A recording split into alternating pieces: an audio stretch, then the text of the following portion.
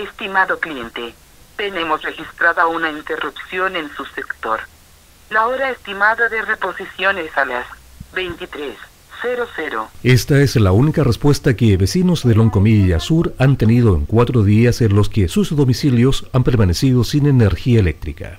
Desde el sábado como a las 11 creo que fue la primera vez que llamé porque la luz se cortó como a las 9 de la mañana y desde el sábado, que dicen que era a las 12.45, después es a las 8 de la tarde, al otro día como las 3 de la mañana, al otro día como las 9 de la mañana, o sea, ni siquiera te contesta eh, una persona, simplemente te, te contesta una grabadora. Y no solo no contar con un servicio básico por varios días, sino que además la pérdida económica que esto ha significado, algo que no es primera vez que ocurre acá tú vives tan lejos que mucha gente, lo digo por la gente, eh, les cuesta salir. Les cuesta salir de, porque estamos hablando de tres kilómetros y medio, salir recién lo que es eh, a la carretera de que pertenece a Villa Alegre. Entonces, eh, la gente compra mes compran sus carnes, sus congelados, todo para el mes. Entonces, mucho se perdió de eso y nadie te da una respuesta. O sea, ni siquiera ha venido una camioneta eh, de Luz Linares como para supervisar de todos los reclamos que hemos estado haciendo. Loncomilla Sur, en este momento, es el que se ha visto más afectado por este corte, situación que se repite en otros sectores de Villa Alegre. Bueno, todos los años ocurre con la empresa Luz Linares que yo quiero denunciar nuevamente porque es una empresa que primero no atiende bien a los clientes. Segundo, eh, han aprovechado la pandemia para entregar eh, la luz, eh, digamos, los, valores, sin explicar a la gente y en, tiran los, volantes en distintos lugares porque, bueno, como no pueden pasar, entonces se pierden. Entonces los vecinos que no pueden ir a Linares, no pueden ir a San Javier, tienen ese problema. Pero los cortes han sido pero recurrentes durante muchos años. La falta de electricidad tiene para este sector consecuencias adicionales, como la falta de agua potable, lo que ha sido subsanado por la APR con un generador para reponer el servicio.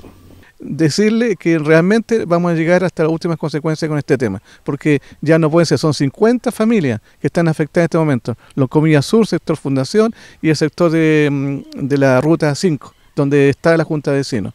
Y yo sé que hay otros sectores también que deben estar esperando la luz sector donde viven muchas personas mayores que requieren de la electricidad para conservar sus medicamentos o calefaccionarse en estas frías noches. Yo tengo 92 años.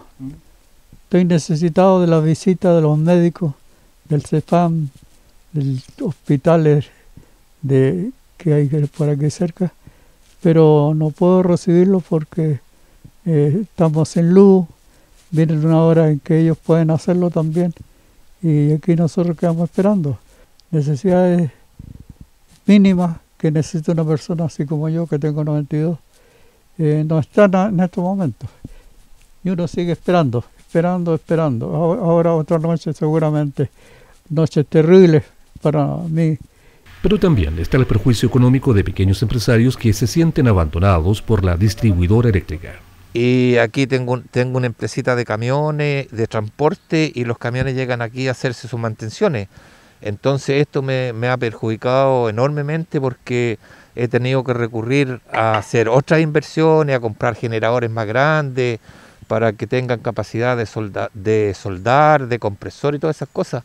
Entonces, esto, y no, no es tan solo de ahora, si se cortó la luz el sábado, y todavía no tenemos ninguna solución. Y el problema es que Luz Linares siempre tiene el mismo problema. La situación de cortes prolongados en el sector y en otros no son nuevos en Villa Alegre, por lo que desde el municipio asumen una postura al lado de los vecinos. Estamos cansados de que siempre sucede lo mismo porque no se hacen medidas de prevención de parte de las empresas. Eh, por lo tanto, eh, todas las acciones que haya que hacer las vamos a hacer una vez que tengan resuelto el tema de la energía, del abastecimiento de energía a todos los sectores. Hoy día tenemos problemas en Loncomilla, tenemos problemas en Coibungo, en distintos sectores de la, de la comuna y lo que creemos es que aquí esto lo tenemos que tomar ya de una forma más eh, seria y más judicial, porque la municipalidad jamás ha tomado acciones judiciales contra estos cortes que han sido muy dañinos para los vecinos Son personas que hoy están a la deriva esperando una solución rápida a una situación que es difícil de justificar, pero que la grabación de la contestadora de la compañía señala claramente que sí tienen constancia de ello. Si su sector se encuentra sin luz, marque 2.